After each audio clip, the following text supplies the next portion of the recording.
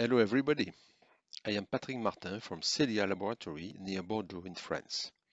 I would like to present you some very recent results about the effects of excitation density on the excitonic luminescence of zinc oxide crystal at room temperature. This work was carried out at the Celia Laboratory in collaboration with the Skobeltsyn Institute of Nuclear Physics of Moscow.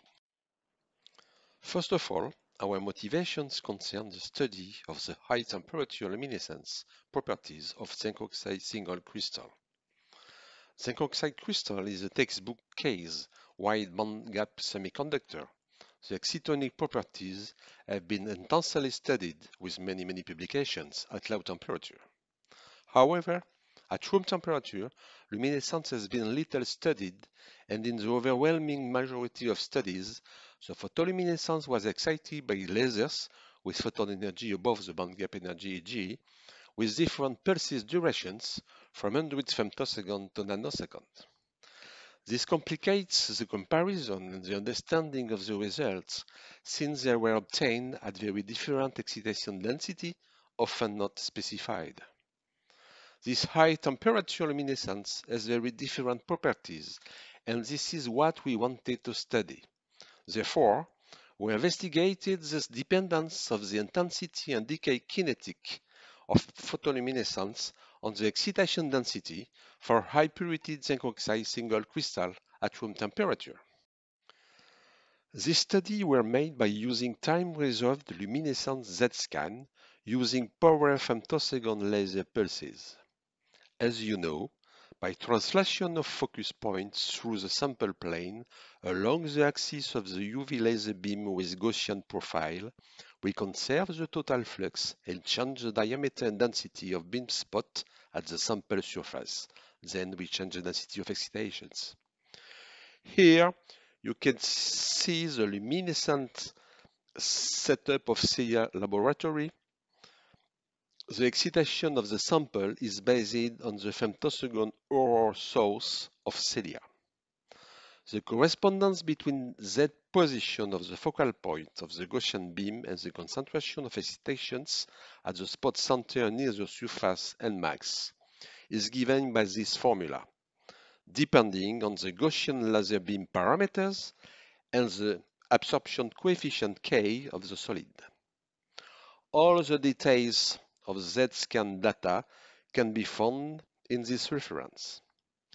The density of created electron pairs in the laser spot center can be controlled from 10 to the 16 to 10 to the 22 per centimeter cube by the combination of ZZ, Z scan and the variation of the laser power from 0.5 nanojoule to 800 nanojoule per pulse.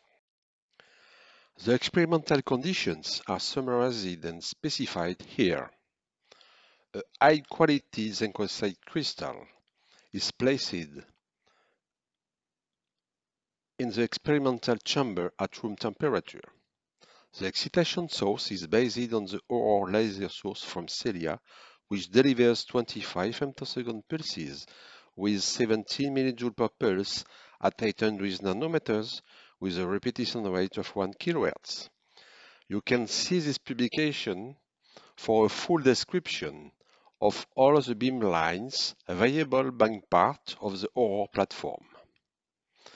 UV excitation is created by generating the third harmonic from the fundamental frequency of the laser. The 266 nanometers pulses with a duration of 250 femtoseconds can excite the crystal with energy per pulse from 0.5 nanojoule to 800 nanojoule.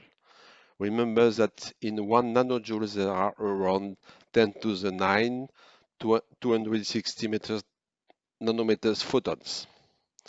The Z-scan setup controls the density of primary electron hole pairs. For each excitation density, a set of 151 emission spectra are measured from Z equal 0 mm to Z equal 150 mm with 1 mm step. The beam size can vary from 2 mm to 15 micrometers. In these conditions, a very broad range of excitation densities is available from 10 to the 16 to 10 to the 22 per centimeter cube at the center of the spot by using a range of excitations power density from 30 nanojoule per centimeter square to 4 millijoule per centimeter square. For each excitation density and emission wavelengths, we also measure the time-resolved decays of the photoluminescence emission.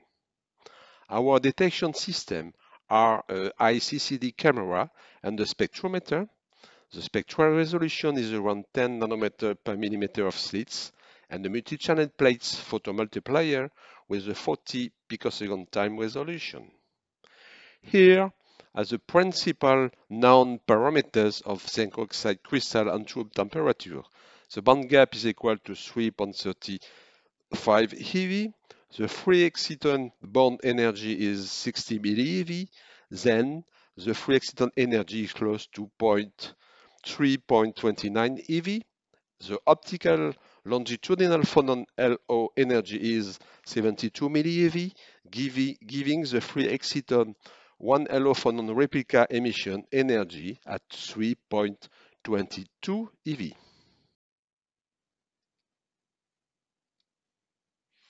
You can see here two examples of measured emission spectra, blue curves, for two excitation densities, 10 to the 17 and 10 to the 20 per centimeter cube. A three Gaussian fit can correctly reproduce all the spectra. These fittings are shown by the magenta curves. The spectra are formed by two narrowest band, UV bands, which is the free exciton and its phonon replica domain, and one broad band in the visible region. This visible band is the defect luminescence centers due to defects levels in the band gap. There are many publications in the literature about this emission. For example, you can see the publication of by Osgood in uh, and coworkers. Due to the sharp rise of the absorption coefficient from 3.25 eV to 3.35 eV, as it is shown on this figure, the UV band is partly reabsorbed particularly on the high energy side of the band, and then the measured emission can be slightly underestimated. No additional bands like P and electron hole plasma bands are observed here, contrary to the observations obtained under excitation by intense picosecond and nanosecond laser pulses. Only free exciton luminescence region, UV band, will be discussed in this presentation. On this slide, we present some three-dimensional Z-scan spectra and two-dimensional Z-scan integrated over the emission energy under each three-dimensional picture, blue curves. These Z-scan were obtained for three different excitation intensity, 2 nanojoule, 20 nanojoule, and 200 nanojoule.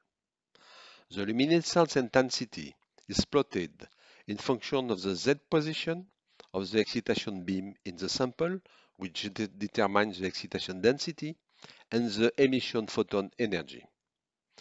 The beam focal point at the surface is located at Z equal 135 millimeters.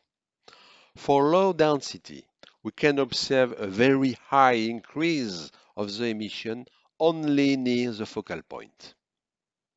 At higher densities, a quenching appears near the focal point, which becoming more and more pronounced as the density still increases.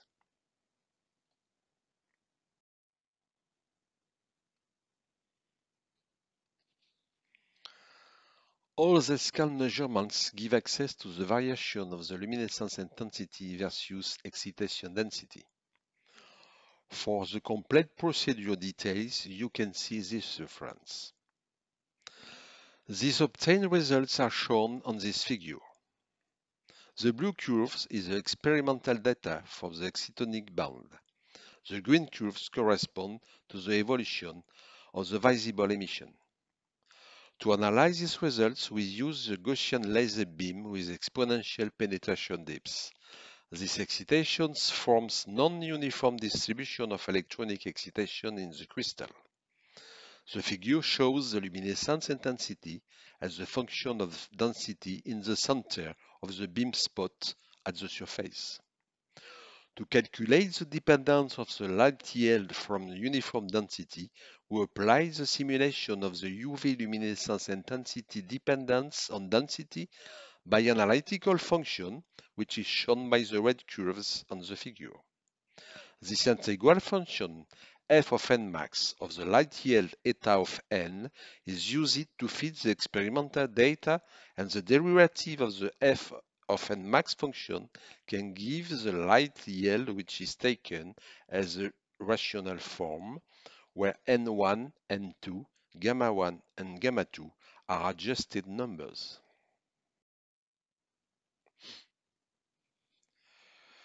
The results of this procedure giving the light yield dependence versus the uniform excitation density is shown in this figure by the red curves in log-log scales. The obtained linear parts of these curves define three characteristic density regions. A low density region from 10 to the 16 to 10 to the 18 per centimeter cube, where the quantum yield quadratically rises with density. The corresponding photoluminescence intensity grows at the third power of the excitation density. This unexpected behavior can mean that the emission needs interaction of three excitations as an hypothesis, like a triangle state. At medium density region from 10 to the 18 to 10 to the 20 per centimeter cube, there is a slowdown of the increase in intensity but remains superlinear. The quantum yield increases as about 0.8 power of the density. This can be explained by the quantum model of exciton electronic excitation interaction, which is closer and closer with the increase of the density. The high density region from 10 to the 20 to higher than 10 to the 21 per centimeter cube show a saturation and a quenching with a very abrupt drop of the quantum yield. At these densities, the plasma formation near surface is possible. We can try to see now what are the peculiarities of the excitation of intense laser beam.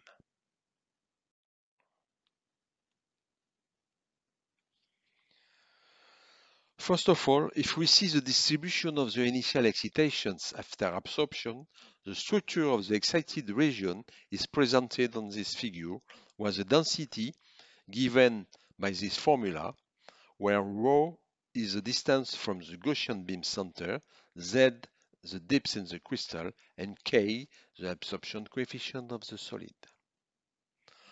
At low density, from n max equal 10 to the 16 to 10 to the 18 per centimeter cube, the emitting zone is only surface and central part of the beam, narrower than the primary exciting region. Remember that in this case, the luminescence intensity increases strongly with the third power of the excitation intensity.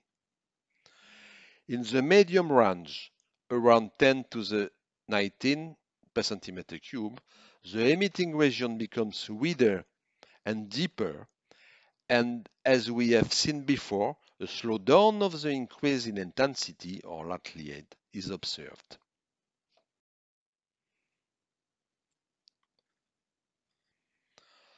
At density around n max equal 10 to the 20 per centimeter cube, a dip appears at the spot center near surface. At this point, we have seen that the increase of the luminescence, or the yield, saturates and start to decrease. The case in max equal 10 to the 21 per centimeter cube shows that the emission comes only from regions with moderate concentrations of excitation far from the surface and deeper and deeper. The depth of the luminescence emission zone increases with the excitation density.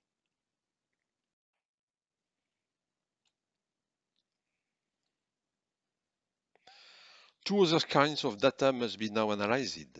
The evolution of the properties of the UV bands and the luminescence decays with the excitation density. First of all, let we see now the evolution of the UV emission bands with the excitation density. The intensity at the position of the UV emission band changed with the change in the density of excitations. To characterize this change, a fitting was applied by three Gaussian functions with two UV Gaussian bands, UV1 and UV2, as we have seen before. The evolution of the two Gaussian UV bands parameters with excitation density is shown on this figure. The position of the UV1 band, the higher energy band, is close to 3.28, 3.29 eV for the lowest densities, weakly move with density with a redshift of 35 millieV. This is a free exciton emission band with, which can be partly reabsorbed on the high energy side, as we have seen before. Anyway, the position of this band is in accordance with the energy of the free exciton in zinc oxide crystal at room temperature. The full width at half maximum of this band is constant and equal to 9 MeV. It is seen that the variation of the amplitude of this band with excitation densities shows several characteristic regions as we have seen just before. The UV2 bands is located close to 3.22 EV for lowest densities and also weakly move towards low energy with a redshift of 15 millieV. This is the LO phonon free exciton replica band, separated from the free exciton band by the LO phonon energy of 72 MeV. This band is this band is broader with a constant full width at half maximum of around 20 MeV. The amplitude variation of this band with excitation density is found to be the same as that of the free exciton band. A question, what is the region of band redshift with density?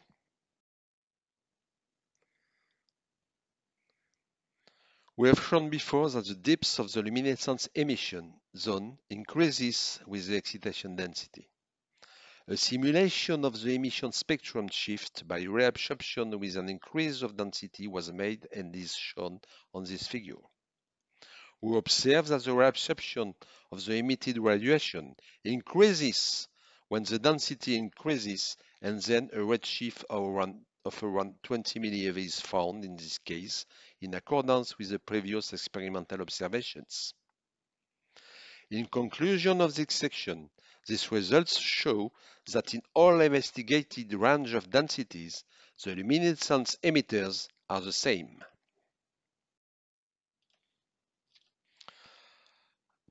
Let us see now the evolution of the properties of the UV luminescence decays with the excitation density.